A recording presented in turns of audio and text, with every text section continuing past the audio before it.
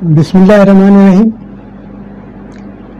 नाजरीन इकराम, इस वक्त मैं आपकी खिदमत में शहर कराची के हवाले से मुरतब की गई एक ज़ख़ीम किताब जो इस वक्त आप देख रहे हैं, मेरे साथ मौजूद है। इसका उन्वान है, इस दश्त में एक शहर था। कराची के सुनहरे दिनों की दास्तान। नाजरीन कराम ये सुनहरे दिन वो थे जिन्हें हम कह सकते हैं कि क़याम पाकिस्तान के बाद के 20, 25, 30 साल। और इस किताब में उन्हीं सुनहरे दिनों का ज़िक्र है कि जब कराची की सड़कें पानी से धुला करती थी। कराची में ट्राम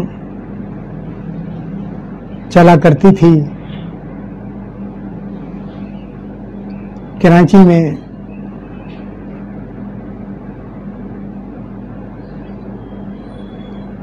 घोड़ा गाड़ी, टांगा, साइकिल, रिक्शा ऊँट गाड़ी और इसी किस्म की चीज़ें।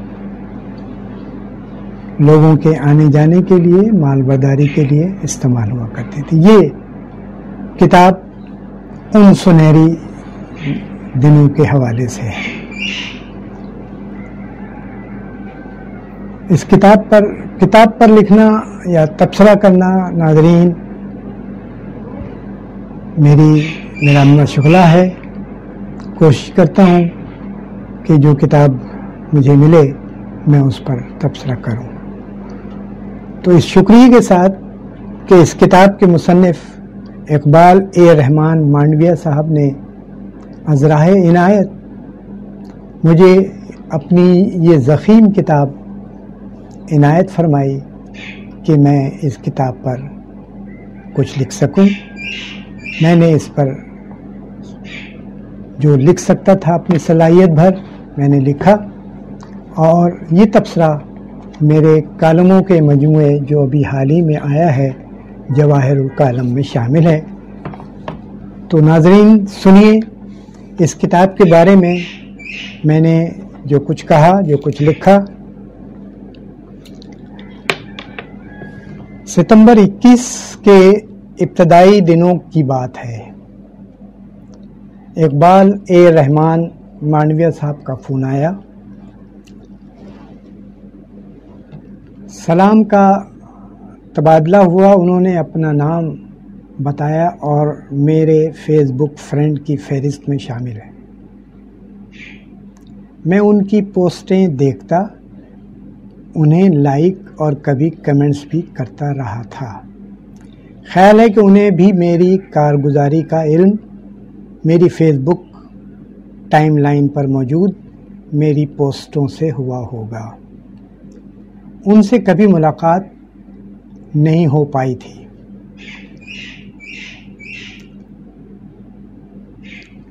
उन्होंने फरमाया कि मैं अपना पोस्टल एड्रेस उन्हें भेज दूँ। वो कोई किताब मुझे भेजना चाहते हैं। मेरे अक्सर अहबाब मुझ पर इस कस्म की मेहरबानी फरमाते हैं। मैंने अपना पता व्हाट्सअप कर दिया। अगले रोज़ रात ही में मैसेज मिला कि उन्होंने अपने किसी नुमाइंदे के हाथ किताब मुझे भेजी। वो नुमाइंदा मुझे फ़ोन करता रहा। इकबाल साहब ने भी फ़ोन किया, लेकिन मेरी जानब से खामोशी रही। उनकी ये बात सुनकर मुझे अफसोस हुआ, माजरत चाही उनसे कहा कि मुझे अपना पता बता दें, मैं ख़ुद आकर आपसे किताब ले लूँगा। मैं उनके एड्रेस का इंतज़ार ही कर रहा था कि दूसरे दिन ही, दूसरे ही दिन उनका नुमाइंदा, उनकी किताब इस दश्त में एक शहर था, मेरे घर दे गया। किताब हाथों में थी। मैं किताब पर इंतहाई खुशी के आलम में शफ़क़त और मोहब्बत से कभी एक हाथ कभी दूसरा हाथ किताब के सरवर सरवर पर फेरता। मेरे शहर कराची पर इतना तहकीकी काम, ज़ख़ीम काम करने वाले शख्सियत के लिए दिल से दुआ निकल रही थी। इस लम्हे उसके मुसनफ़ की इल्मियत, काबिलियत और दरिया दिली का ख्याल भी आया कि उसने मुझे इस काबिल समझा। कि 800 सफ़ात पर मुश्तमिल किताब, जिसकी कीमत दो हज़ार रुपये दर्ज है, मुझे अपने खसूसी नुमाइंदे के हाथों इनायत फरमाई। यही वो लम्हात भी थे, जब मेरे जहन में मेरी इकहत्तर साल ज़िंदगी के नशीब व फराज फ़िल्म की तरह चलने लगे। मैंने इस लम्हे किताब पर अपने ख्याल का इजहार करने का भी फ़ैसला किया। तारीख दान व मुसनफ़ गुल हसन कलमती, जिन्होंने किताब का मुख्तसर फ्लैप लिखा, किताब को तहकीकी के बजाय कराचियाई का, कराची की गलियों का सफ़रनामा करार दिया है। साथ ही उनकी, साथ ही इसकी वजह ये बयान की किताब में पूरे तहकीकी या इदाराती आदाब नहीं मिलेंगे। कलमती साहब की राय में वज़न है लेकिन मेरी राय में जस्तजू, तहकीक, सख्त मेहनत अहबाब से मेल मुलाकात के बग़ैर ऐसी किताब मुरतब नहीं की जा सकती थी। इसके लिए कराची की गलियों, शाहराहों, मुख्तलिफ़ बस्तियों, मुख्तलिफ़ रहाइश पजीर बरदरीों के बारे में मालूम हासिल करने में मुसनफ़ ने जान जोखों में डाली है। इससे आम कारी ही नहीं, बल्कि मुस्तबिल का महक़ भी इस्तफ़ादा करेगा। नीस कराची के किसी भी पहलू पर तहकीक करने वाले के लिए ये किताब अहम हवाला करार पाएगी। किताबों में आम तौर पर तहकीकी आदाब इस अंदाज से फ़राहम नहीं किए जाते जैसे कि तहकीक मक, तहकीकी मकाले में होते हैं। लेकिन किसी भी मौजू पर तहकीक की बुनियाद किताब ही हुआ करती है। किताब के मुताले का असूल ये है कि हम पहले किताब में दर्ज फहरिस्त मजामी पर एक नज़र डालते हैं, सो मैंने भी ऐसा ही किया। अंदाज़ा हुआ कि इसमें कराची की मुख्तलिफ़ बस्तियों, इलाकों, जगहों जैसे बंदरगाह, Clifton, west wharf जजायर Hawkes Bay road, Mauripur road, SITE, Lyari Kharadar Harchand Rai, दुशनास, विशनास रोड, निश्तर यानी Lawrence road Chand Bibi road prince street, Shayara Liaquat, I I Chundrigar road, doctor Ziauddin Ahmed road, मौलवी Tamizuddin road, Saddar M A Jinnah road, Jamshed road. इस फहरिस्त को देखकर मैं अपनी यादों के समंदर में गोते मारने लगा। ये सब तो वो इलाके बस्तियाँ शायराहें जहाँ पर मैं सुबह व शाम गुजरा, गुजर कर गुजरा करता था। कभी तांगे में, कभी साइकिल रक्षा में, कभी घोड़ा गाड़ी में, कभी बसों में, कभी ट्राम में, फिर रक्षा का ज़माना आया, मोटरसाइकिल ख़रीद ली तो उस पर इन्हीं सड़कों पर दौड़ता वक्त याद आ गया। क्लिफ्टन पर सैर व तफरी, साहिल समंदर के हवाले से हॉक्स पे जाना, लियारी जिसमें मेरा बचपन, मेरी जवानी गुजरी, यहाँ तक कि बुढ़ापे की पहली दहलीज पर भी यहीं कदम रखा मुख्तसर ये कि इस किताब की फहरिस्त से अंदाज़ा हो गया कि इसमें बयान करदा झैली मौजूद में जो कुछ भी लिखा होगा, वो सब मेरी याददाश्तों में महफूज है। इसे पढ़कर यकीनन मुझे मुसरत ही नहीं होगी, बल्कि मेरे दिल और दिमाग को ऐसी ऑक्सीजन मैसर आएगी जो मुझे आज तक किसी और, किसी किसी और कोई किताब से हासिल ना हुई होगी। अब मैंने अगला सफ़ा पलटा। यहाँ फ़हरिस्त मजामी तहजी मौजूद थी। फ़हरिस्त उनवानात में मौजूद दिए गए हैं। उन मौजूद के तहत झेली मौजूद को हरूफ तहजी के तहत तरतीब दिया गया है। उनके सामने सफ़ा नंबर दर्ज है। इस फहरिस्त को देख कर मेरे चारों तबक रोशन हो गए।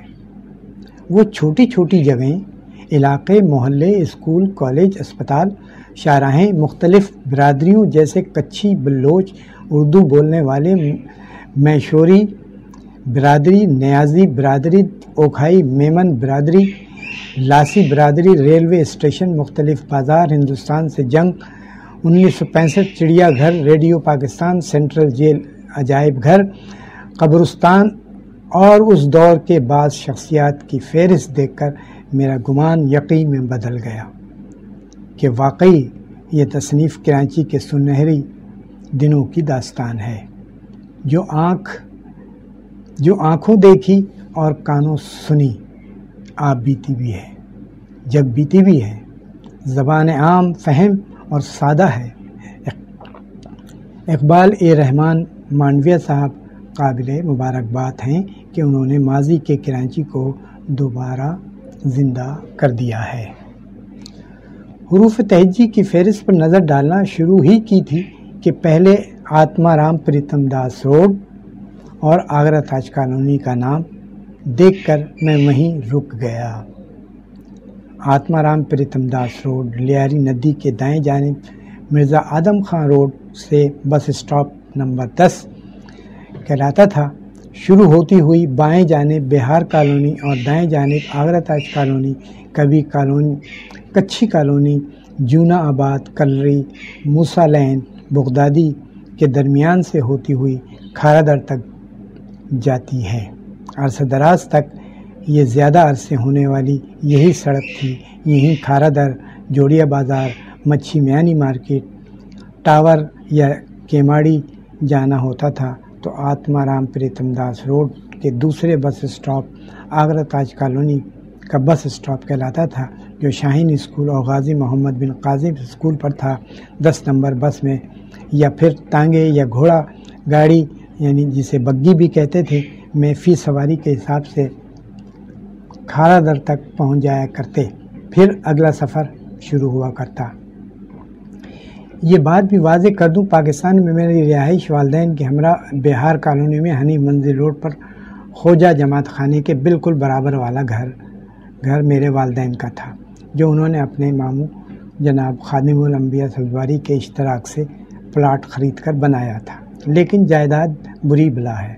चंद साल बाद वालिद साहब ने हालात से समझौता करते हुए उस घर को खैरबाद कहा और आगरा ताज कॉलोनी में एक प्लाट ख़रीद कर रिहाइश अख्तियार की।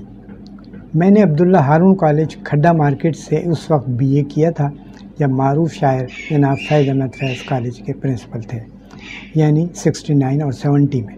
उसके बाद एमए करने के बाद कॉलेज में मुलाजमत मिल गई। इतफाक़ के उन्नीस में तबादला अब्दुल्ला हारून गवर्नमेंट कॉलेज में हो गया। लेकिन फैज़ साहब ने उन्नीस सौ बहत्तर में कॉलेज को उस वक्त खैरबाद कह दिया था, जब भुट्टो साहब ने तालीमी इदारों को सरकारी तहवील में ले लिया था। अब हमारा सफ़र मारीपुर रोड से होने लगा। इस ज़माने में के आर टी सी बसें चला करती थी। कभी हम पैदल ही अपने कॉलेज आने जाने लगे हमारा रास्ता शाह रोड, न्याजी चौक, दरियाबाद से होता हुआ सीधे सीधे खड्डा मार्केट नवाबाद, जिसका जदीद नाम मेमन सोसाइटी है, पर कॉलेज पहुँच जाया करते। ये मुख्तसर सी बातें थीं इस ज़माने की हमारे हवाले से, लेकिन इन सब का ज़िक्र इकबाल ए रहमान साहब ने मरहलावार अपनी किताब में किया है। पेश नज़र तसनीफ़ के हवाले से एक और बात, किताब पर इजहारिया लिखना शुरू किया तो हरूफ तहजी के तहत मौजूद की फहरिस्त में तीसरे नंबर पर मौजू का उनवान था आगरा ताज कॉलोनी। मेरी निगाहें इस पर मुंजमद हो गईं और मैं फौरी तौर पर उन सफ़ात में पहुँच पहुँच गया। इस अमल की वजह से इस बस्ती से मेरे कुछ यादें यादें हैं। बचपन यहाँ गुजरा, जवानी की बहारें इसी बस्ती में आईं और जवानी ने इस जगह से वापसी का सफ़र शुरू भी किया, यानी बुढ़ापे की दहलीज पर भी कदम रखा। बिहार कॉलोनी और आगरा ताज कॉलोनी में मेरे क़्याम की कुल मदद थर्टी नाइन ईयर्स है, जबकि लियारी से मेरी वाबस्तगी फोर्टी नाइन सालों पर मुहित है। इसलिए कि हमारा ख़ानदान 15 नवंबर 1986 में आगरा ताज कॉलोनी से Dastagir society federal B area मुंतकिल हो गया था, जबकि अब्दुल्ला हारून गवर्नमेंट कॉलेज से वापसगी 1997 तक रही। बाद आजा बाद तबादला गवर्नमेंट कॉलेज फार्मैन नाजाबाद में हो गया।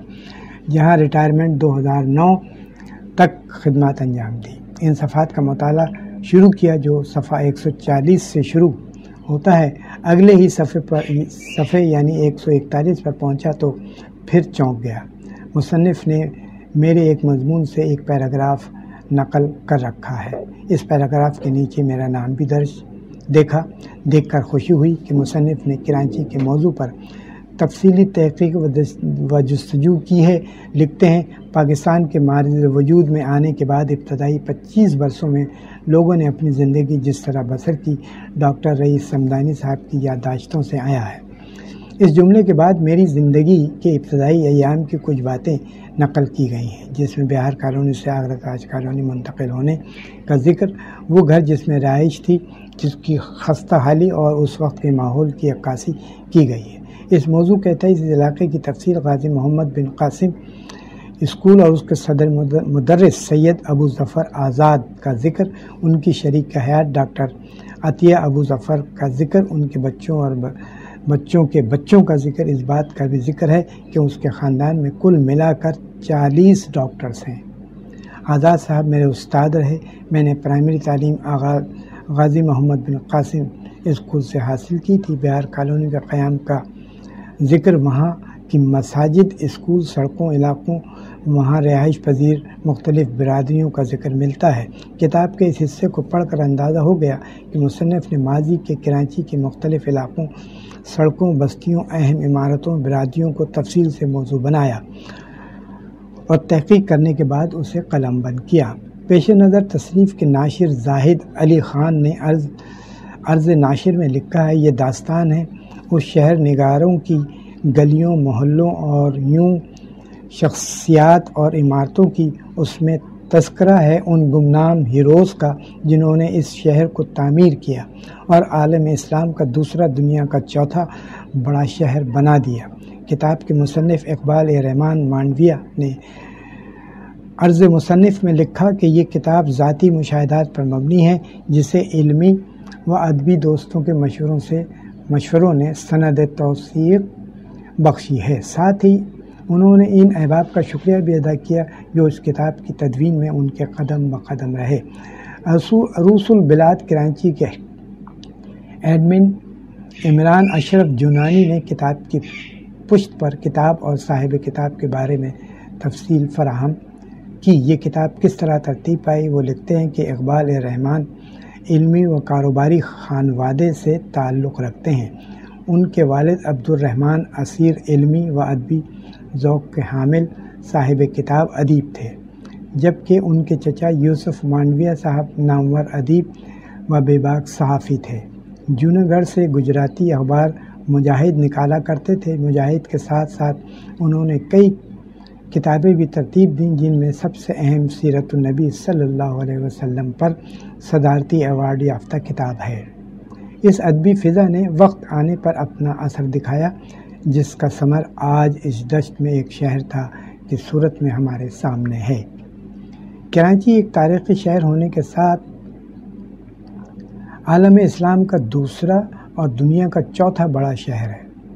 कराची पर बेशुमार महक्कीन और मुसनफ़ी ने कलम उठाया तहकीकी मकालत भी लिखे लिखे गए किताबें और मजामी में भी मेरे एक शागिर डॉक्टर अजीम शान हैदर ने जामा कराची से हिस्ट्री ऑफ़ कराची के मान से पीएचडी की डिग्री हासिल की थी कराची की अहमियत के पेश नज़र कराची पर तहकीक व जस्तजू का सिलसिला मुस्तबिल में भी जारी रहेगा किताब यकीन इस शहर के बासियों के लिए ख़ास तौर पर दिलचस्पी और मालूमती है, बल्कि आम कारीन के लिए, तहकीक करने वालों के लिए अहम हवाला है। अलबत् इस किताब का कराची वो नहीं, जो अब है, बल्कि इसमें माजी के कराची को खूबसूरत अंदाज से पेश किया गया है। मौजूदा कराची अपनी जोग्राफियाई एतबार से वसी तर हो चुका है। बेशुमार नई आबादियों में, नई आबादियाँ मारज वजूद में आ चुकी हैं। नई नई सड़कें, बुलंद वाला इमारतें तफरी मकाम कराची का हिस्सा बन चुके हैं। इस शहर को भी किताबी सूरत में सामने लाना ज़रूरी है।